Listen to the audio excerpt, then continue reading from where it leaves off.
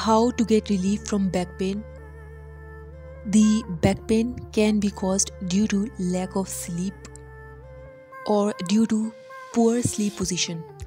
Place a pillow between the knees so the spine will be in a neutral position.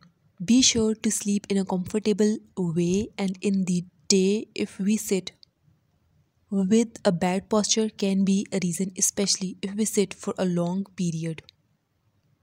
Support the back of the chair while working on the laptop and we can also place a pillow between the lower back.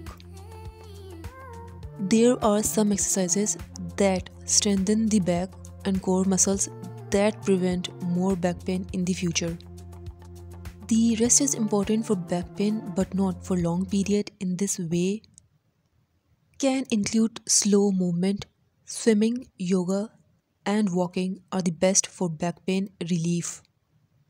Ice on the area of pain is recommended for 20 minutes and ice is a in a thin towel to protect the skin it is switched after a few days to heat and a heated bed is applied for blood flow and a warm bath is good for relaxation.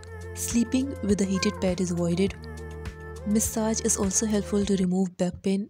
Talk therapy is there to make the person less stressed by CBT therapy so they can talk about physical activity.